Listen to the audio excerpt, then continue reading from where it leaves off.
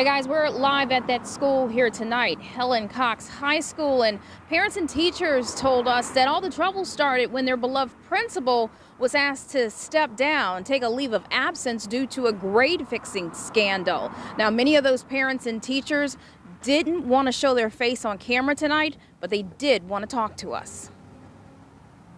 I think a lot of the teachers are frustrated, and I think a lot of things are not going you know, really well this year.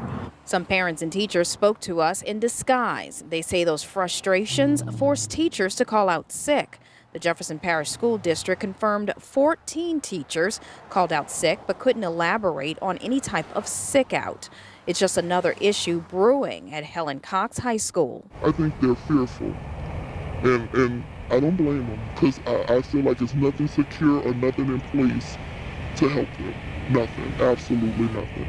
And these are teachers that's been there forever. You know, it's teachers that's, you know, maybe older in age, you know, no, no teacher want to break up a fight and get hurt in the process. So I totally understand that. We previously told you about the Jefferson Parish Superintendent's decision to place Principal Mark Perry and three other administrators on leave after an internal investigation found grades for five seniors were changed, allowing them to graduate. Those concerned now say the school is in chaos. I can really say when the, Mr. Perry was there, the school was in better control. We didn't have all these fights. We didn't have all these other issues that's going on. Today I was told there was a teacher sick out. Shouldn't be. You know, are y'all thinking about the kids?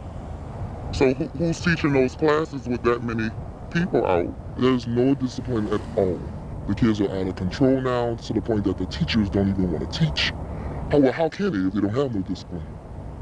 The teachers walking out, don't want to teach the kids, and it's not right for a school that actually was like a number one school.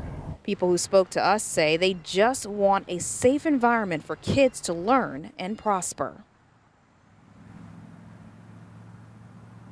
Now, guys, we did reach out to the district about some of the issues you heard there. They did send us a statement that says Helen Cox has great kids and teachers doing amazing things. We stand behind the decisions we made to uphold academic integrity. We're live in Jefferson Parish. I'm Tammy Eswick for WDSU News.